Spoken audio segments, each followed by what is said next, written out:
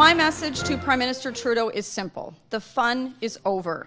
We need the Prime Minister to get serious about jobs, about his job and jobs for Canadians. That is the interim Conservative leader, Rona Ambrose, ready to put Justin Trudeau's feet to the fire on Monday when the House returns. But have they had to shift their playbook now that Justin Trudeau is back down, at least a bit, from the cash for access controversy, changing the rules so ministers will not be allowed to host fundraisers in private houses or the mansions of the rich. They're going to have to talk about it publicly and they're going to have to let the media in there. They got to deal with that and to talk about dealing with Donald Trump and the conservative leadership race, where Kevin O'Leary has started to shake things up. I'm joined now by the interim conservative leader, Rona Ambrose.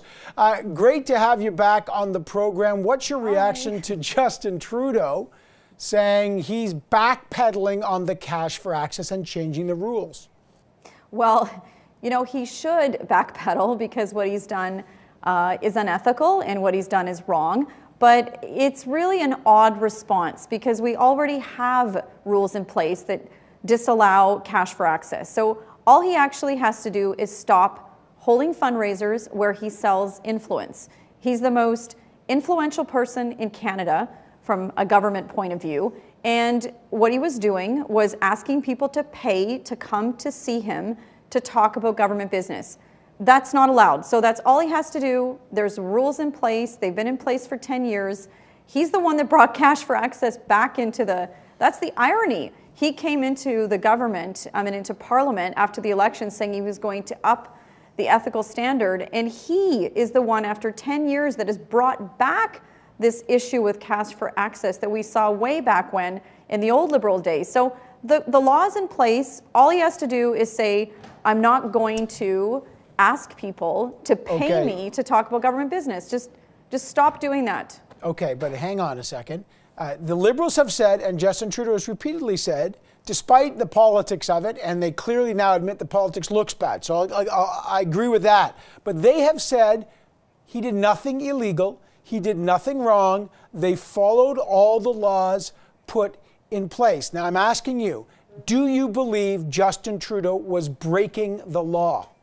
I think without a shadow of a doubt, he broke the rules that he brought into place, his very own rules that say very clearly there shouldn't be any you know, selling of influence, but there shouldn't even be a perception of any influence.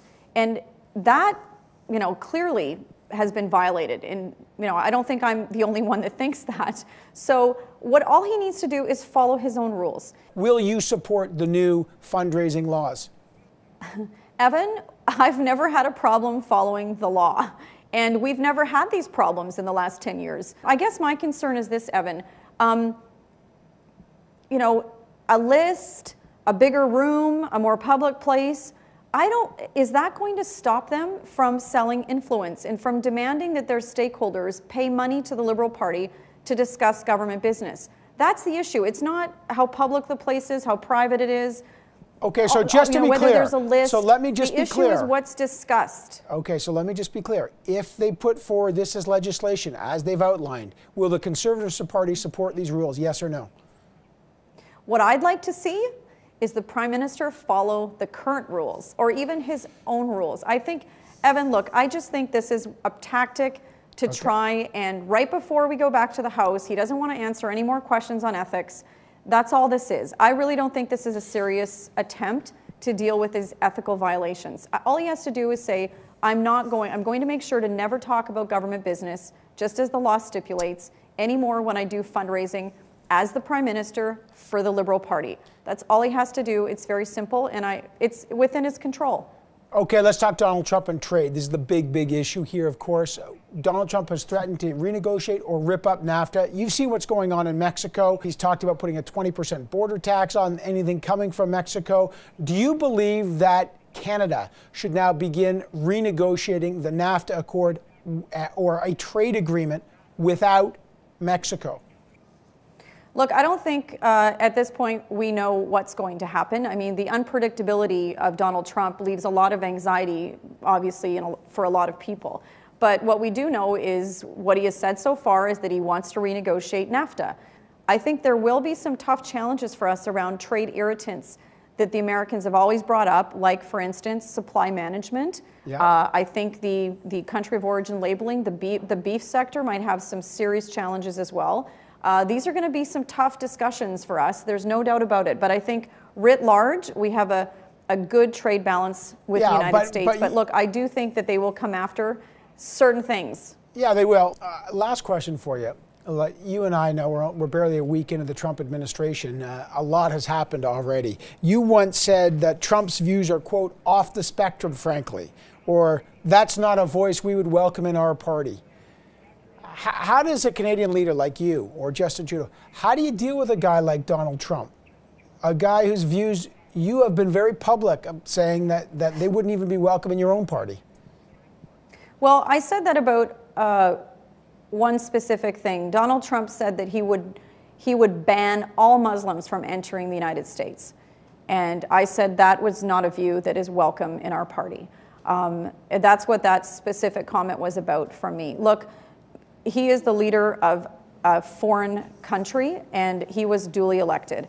It's up to, you know, when we think about our trade relationship, which is what I'm worried about, I worry about jobs, I worry about the economy, that's our number one priority. We're going to do, as members of parliament, even though we're in opposition, everything we can to help build that relationship and create stability between the two countries. All right, 10 seconds left. What's the key question on Monday when question period resumes? What's your number one question? I think I might get up and say, Mr. Speaker, I don't know where to begin. There's so many things that I can ask. I mean, we've got a massive deficit. We've got ethical violations, questions around ethics. Uh, we've got, you know, what are we going to do on softwood lumber? What are we going to do when we renegotiate NAFTA? Um, you know, what's going to be in the budget?